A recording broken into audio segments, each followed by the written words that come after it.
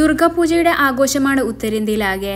രാഷ്ട്രീയ നേതാക്കളും സിനിമാ താരങ്ങളുമെല്ലാം വിശേഷ ദിവസത്തെ അനുബന്ധിച്ചുള്ള പൂജയിൽ പങ്കെടുത്തിരുന്നു. കഴിഞ്ഞ ദിവസം പൂജകളിൽ പങ്കെടുക്കാൻ ബോളിവുഡ് സെലിബ്രിറ്റികൾ ഒത്തുകൂടിയിരുന്നു.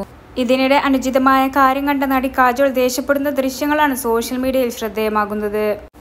കാജോൾ ആലിയ ഭട്ട് റാണി മുഖർജി അജയ് ദേവഗൺ തുടങ്ങിയവരെല്ലാം പൂജയിൽ പങ്കെടുക്കുന്ന ചിത്രങ്ങളും വീഡിയോകളും പുറത്തു വന്നിരുന്നു. പൂജ ആരംഭിച്ച് ഏതാനും സമയം പിന്നിട്ടപ്പോഴാണ് ഷൂസ് ധരിച്ച് ചിലർ പന്തലിൽ കയറുകയും പൂജ വിഗ്രഹത്തിന് അരികിലെത്തുകയും ചെയ്തത്. ഇക്കൂട്ടത്തിൽ ദൃശ്യങ്ങൾ പകർത്താനെത്തിയ ഫോട്ടോഗ്രാഫർമാരും ഉണ്ടായിരുന്നു. ഇവർ ചെരുപ്പ് തിരിച്ചു നിൽക്കുന്നത് കണ്ട കാജോൾ ഉടൻ തന്നെ ഇവരെ ശകാരിക്കുകയായിരുന്നു. ഇതൊരു പൂജയാണ്. കുറച്ചെങ്കിലും ബഹുമാനം കാണിക്കൂ എന്നായിരുന്നു കാജോൾ പറഞ്ഞത്. സമീപത്ത് നിൽക്കുന്നയാളിൽ നിന്ന് മൈക്ക് വാങ്ങി കാജോൾ ഇക്കാര്യം ആവർത്തിക്കുകയും ചെയ്തു. ഇതിന്റെ വീഡിയോ ദൃശ്യങ്ങളാണ് ഇൻസ്റ്റഗ്രാമിൽ ഇപ്പോൾ വൈറലായത്.